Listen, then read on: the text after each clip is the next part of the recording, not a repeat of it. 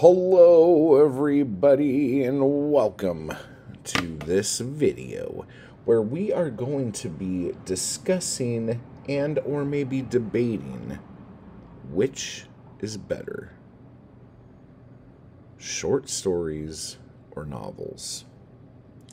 Now, some of you right off the bat might go, oh, well, duh, blah, blah, blah, blah, blah. And I was thinking about this and I was having a bit of a, a bit of a problem. Somebody, oh, you know who it was? It was um, Dr. Herbert West, PhD, extraordinaire. Yes, that's who it was.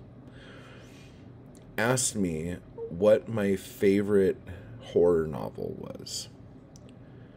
And so I started thinking, and I started thinking and I started thinking.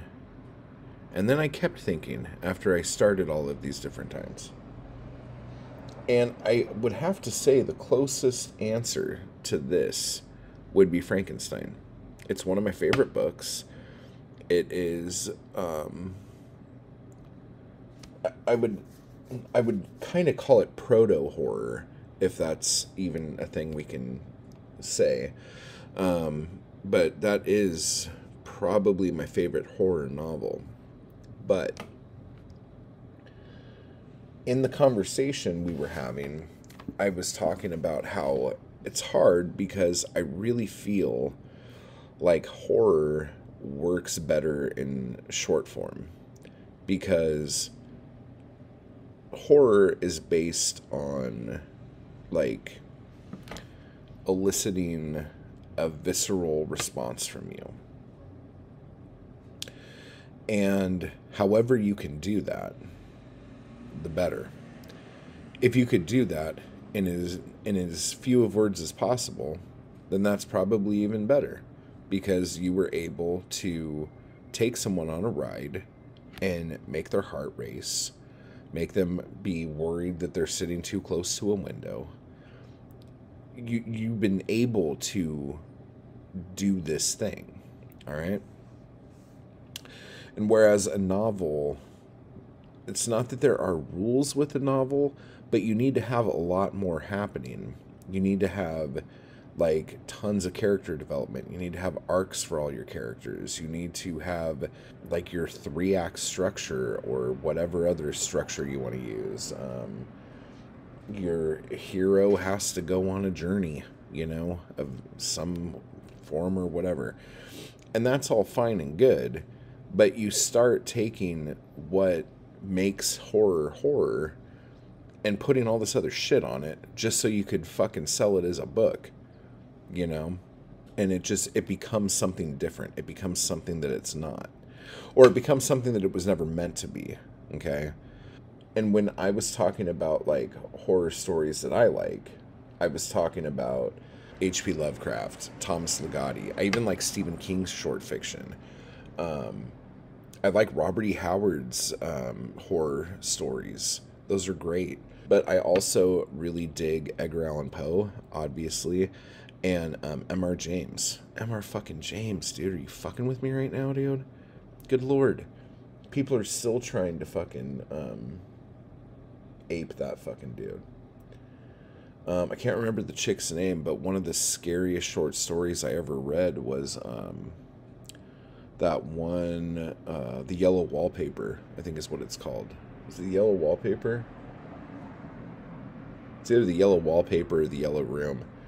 Um, I can still see it in my head. Um, and I had, I, I told this story before, but um, in my grandparents' house in the downstairs bathroom, they had wallpaper that if you looked at it for more than a half a second, it like it came out. Like it um the depth on the wallpaper was so severe that like I like I would be a little kid sitting on the toilet and I had to like look down and close my eyes because I thought if I looked at that wallpaper for more than a couple seconds, I would fall into the wallpaper and no one would ever find me again.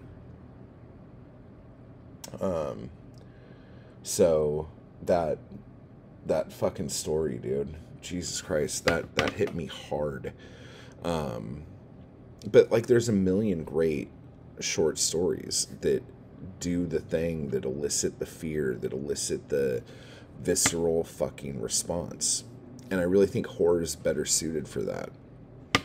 And if it wasn't for um, Stephen King and Dean Koontz and the paper sales explosion of the 1980s, like, I don't know if um, horror novels would even be a thing right now. I think people would still be writing horror shorts. And then this got me thinking of science fiction.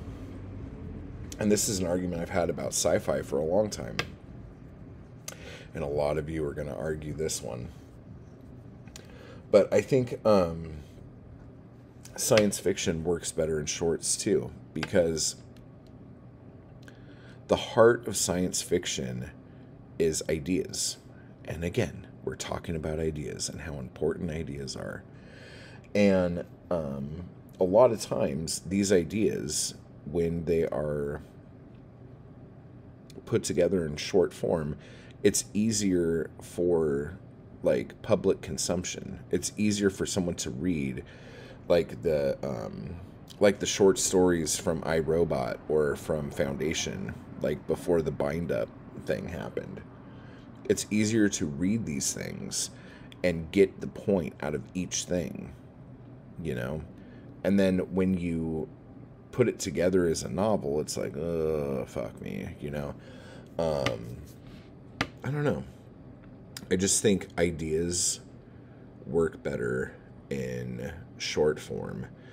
And I really think novels, especially longer novels, are very masturbatory. There, I said it. I said it. The guy on BookTube but thinks books are masturbatory. Okay. But I understand that the way publishing has been, um, making money off of short stories is not a good way to like be fucking filthy fucking rich. So, um, hence the novel. Um, that might be a bit cynical, and I think if we like went through the different generations, um, you, you can make arguments both ways that's just kind of how I see it. I think um, I think short fiction's better. Damn it. So yeah. So what do you think? Do you think shorts are better than longs? Um, yeah, you guys know what I'm saying. What's better? And do you think there is a genre that works better in short form than it does in long form? and especially if it's one that I didn't bring up right now. Hit me up, hit me back, let me know. And keep the conversation going, and I will talk to you guys later. Bye bye. I just want to give a quick thanks to those people who make these videos possible. Anarchy Crew and my followers on Patreon. I appreciate the hell out of you guys, and thank you so much for keeping me going to keep this content possible. You guys are awesome. And if you'd like to join the crew or the Anarchy Crew, just hit the join button beneath this video. And if you'd like to become a member of my Patreon, you can run over to the link down below to do that as well. Thank you.